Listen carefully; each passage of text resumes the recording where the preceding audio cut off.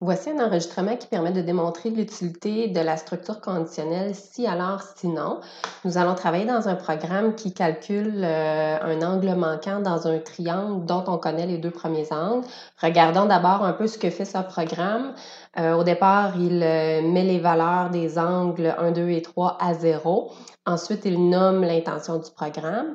Il demande à l'utilisateur la valeur du premier angle et l'enregistre la valeur du deuxième angle et l'enregistre. Et maintenant qu'il connaît ces deux angles-là, il calcule la valeur du troisième en faisant 180 moins la somme des deux autres.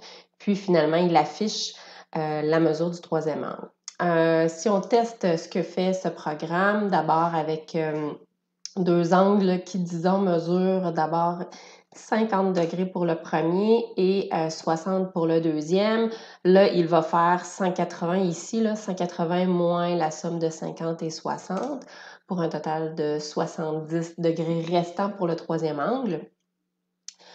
Euh, par contre, si on recommence, on peut rencontrer certains problèmes euh, si la somme des deux premiers angles dépasse une certaine valeur. Par exemple, si j'ai 115 degrés pour le premier angle et 95 euh, pour le deuxième.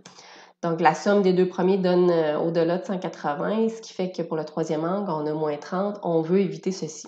Alors, euh, c'est à, ce moment-ci que la structure conditionnelle, si alors sinon, peut être utile. L'idée, c'est de vérifier si euh, la somme des deux premiers angles ne, euh, soit inférieure à 180 degrés. Donc, pour ça, on va aller chercher la structure si alors sinon dans la section contrôle.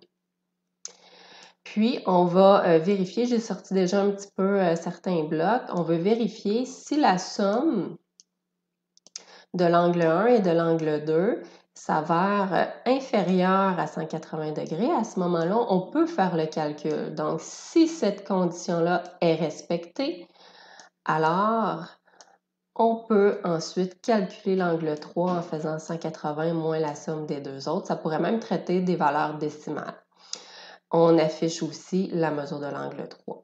Si par contre cette euh, cette condition-là n'est pas respectée, à, ce moment-là, on s'en va dans le sinon et on peut faire dire un message d'erreur à notre euh, programme. Alors, allons tester ce que ça donne.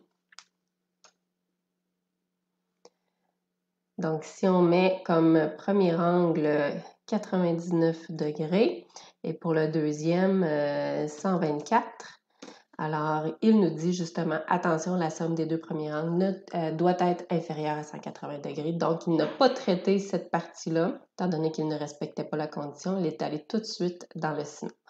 Alors, voilà un usage euh, pratique, utile euh, de la structure conditionnelle si alors sinon dans des contextes mathématiques.